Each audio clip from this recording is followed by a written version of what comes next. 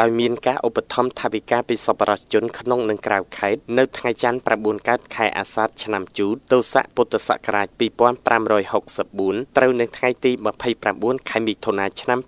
2020ព្រះដេចគុណសុតន្តោឡៃកនព្រះគ្រូចៅអធិការវត្តបាកាន បាននិមន្តព្រះសង្ឃទាំងភិក្ខុនិងសាមណេរចំនួន400អង្គមកពីគ្រប់វត្តទូទាំងស្រុកបាកានដើម្បីប្រគេនចង្ហាន់និងទានចំណាំព្រះពោសាក្នុងលក្ខណៈបង្កើតភាពស្និទ្ធស្នាលរវាងព្រះសង្ឃនិងព្រះសង្ឃពិធីនេះប្រារព្ធធ្វើនៅក្នុងបរិវេណវត្តបាកានឃុំត្រពាំងចងដោយមានការចូលរួមពីលោករិនសភារិនប្រធានមន្ត្រីធម្មការនិងសាសនាខេត្តនិងពុទ្ធបរិស័ទជាច្រើនទៀតព្រះដេចគុណសុតន្តោឡៃកនមានសង្ឃដីកាថាថ្ងៃនេះព្រះដេចគុណបាននិមន្តព្រះចៅអធិការវត្តទាំង42វត្តទូទាំងស្រុកបាកានព្រមទាំងភិក្ខុនិងសាមណេរទាំងអស់សរុបប្រមាណ400អង្គឲ្យមកទទួលចង្ហាន់ដើម្បីរួមគ្នាជាមហាគ្រួសារតែមួយដោយមហាគ្រួសារប្រជាពលរដ្ឋទាំង49ម៉ឺននាក់ដែលរៀបចំដោយឯកឧត្តមអភិបាលខេត្តពោធិ៍សាត់ដែរធ្វើបែបនេះដើម្បីបង្កើតភាពស្និទ្ធស្នាលដឹងសុខដឹងទុក្ខនិងចេះជួយគ្នាទៅវិញទៅមកពេលមានបញ្ហាអ្វីកើតឡើង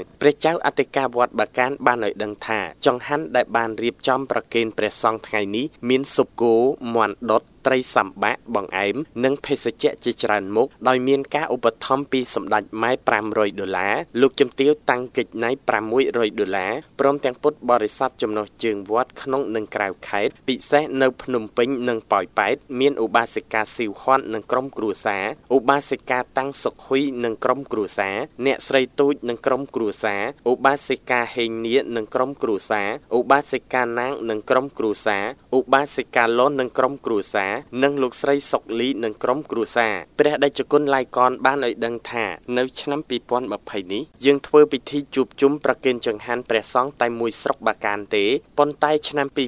2021បើមានលទ្ធភាពគ្រប់គ្រាន់យើងនឹងធ្វើទូទាំងខេត្តតែម្ដង ដែលមានព្រះសង្ឃសរុបប្រមាណជាង2000អង្គលោករិនសភារិនប្រធានមន្ត្រីធម្មការនិងសាសនាខេត្តបានកោតសរសើរចំពោះព្រះដេចគុណឡៃកនព្រះគ្រូចៅអធិការវត្តបាកានដែលព្រះអង្គដឹកនាំនិងគ្រប់គ្រងវត្តមានការរីកចម្រើនគួរឲ្យកត់សម្គាល់មានទំនាក់ទំនងល្អជាមួយថ្នាក់ដឹកនាំនិងសប្បុរសជនមកពីគ្រប់ទិសទីព្រមទាំងបានចិញ្ចឹមបណ្ដុះបណ្ដាលដល់សាមណសិស្សរាប់រយអង្គពីមួយចំនួនទៅមួយចំនួនមិនតែប៉ុណ្ណោះព្រះដេចគុណបានចូលរួមក្នុងវិស័យមនុស្សធម៌ផ្ដល់ស្បៀងសម្ភារៈប្រើប្រាស់និងថវិកាដល់សាខាកាកបាទក្រហមចែកអំណោយជូនប្រជាពលរដ្ឋទីទាល់ក្រ អ្នកជំងឺកុមារកំព្រា កងទ័ពនិងជួយសាងសង់ព្រះវិហារសាលាឆាន់កុដដល់វត្តខ្វះខាត នៅឆ្ងាយដាច់ស្រយាលទៀតផង ព្រះពុទ្ធសាសនាគឺជាសាសនារបស់រដ្ឋដែលយើងទាំងអស់គ្នាមានជំនឿនិងគោរពប្រតិបត្តិតាមព្រោះថាព្រះពុទ្ធសាសនា